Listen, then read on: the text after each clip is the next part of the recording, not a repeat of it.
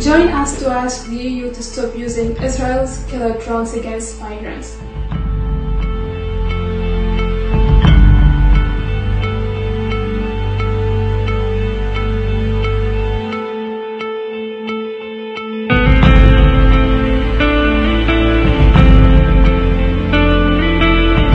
These drones have been used in the killing of so many of us here in Gaza. They have been tested in our bodies.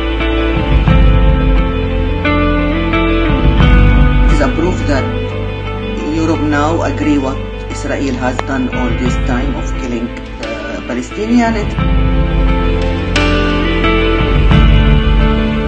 It, is mean there is a war. There is it mean now it is a war between the migrants and the EU.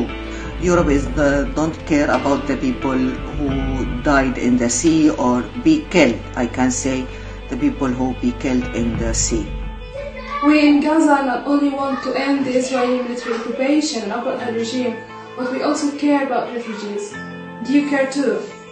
Take action now and contribute to end contesting this crime.